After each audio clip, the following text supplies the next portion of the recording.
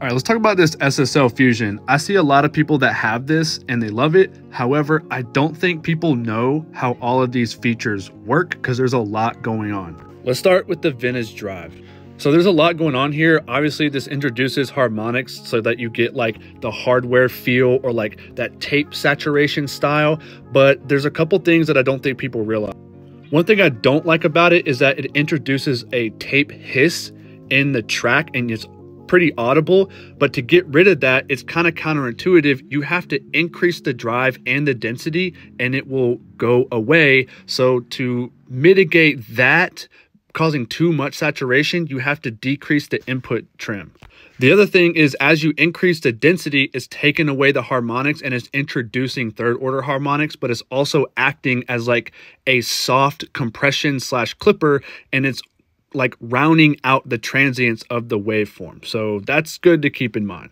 Next is this high frequency compressor. Now, some people know if you hold down this input button for five seconds, it'll switch this over to a full range frequency compressor where the crossover knob now becomes a wet and dry mix knob.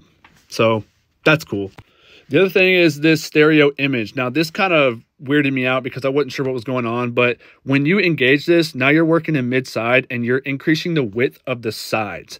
The space knob, which is adding depth and stuff, is adjusting the low frequencies, which SSL hasn't made public what that frequency uh, crossover point is, but a lot of people suspect it's around 300 hertz. So when you increase this, you're increasing the low end that, are, that is going into the sides. And when you decrease it, you're kind of making it a more mono signal and taking it away from the sides.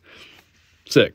Next, we have this transformer button. So the thing about this is it's nice, but it introduces a roll off around 40 hertz. That is a 16 uh, dB roll off.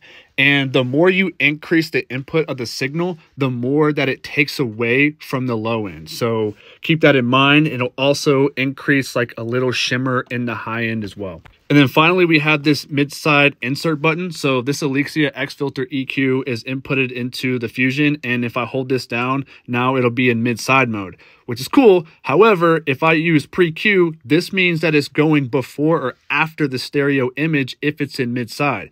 If it's in regular mode, pre-Q means it's going before the violet EQ. And if I turn it off, it is now after this in a signal chain.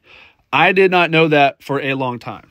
So the SSL Fusion is super dope. If I got rid of all this and wanted to keep one piece of hardware, I'd keep this one because there's so many features about it and it works on everything. So there you go, dude.